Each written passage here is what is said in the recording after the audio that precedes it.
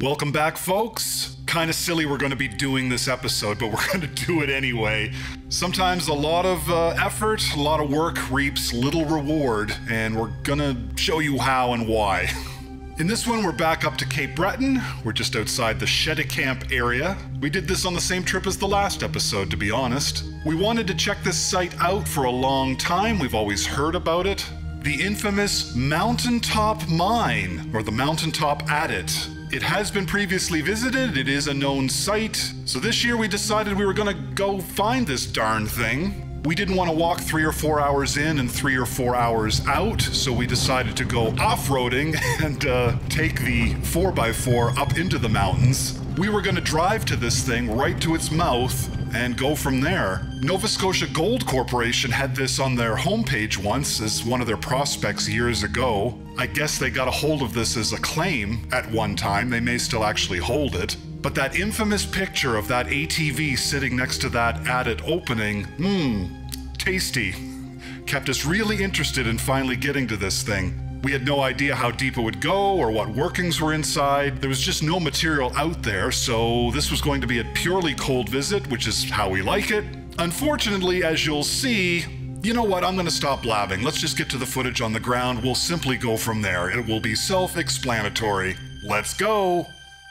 Okay, folks, here we are near Cheticamp in Cape Breton, and we are investigating the Mountaintop Adit, allegedly an old copper mine maybe a gold mine. And we're here after kilometers of trepidatious four-wheeling in the truck through the woods. It took about a half hour to get back here.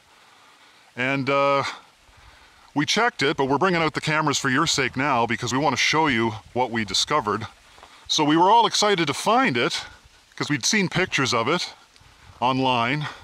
And here it is. Cool, eh? Really promising. We're fighting humidity, so if the lens is foggy. And we're being attacked by horseflies, as you can see. So here's what we're seeing. It all looks great. When we got here, we were happy. And then, of course, if you just get a little bit closer, we'll show you what we see here. Whoops. Got to get up the cliff. This is the problem. That's it, folks. this will be the shortest episode of Nova Scotia mine hunters in our history because this thing is eight feet deep.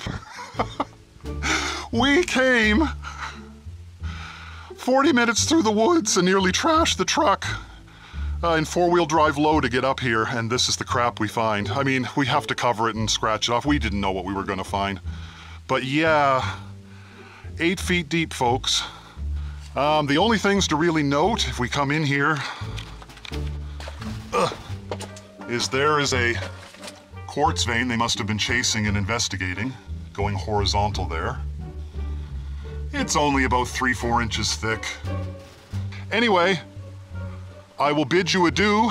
Now we have to spend uh, 40 more minutes to get back out of these mountains up in the Cape Breton Highlands and uh, nearly trash the truck again on these old ATV roads. So uh, that's it. We'll see you next time. Bye-bye.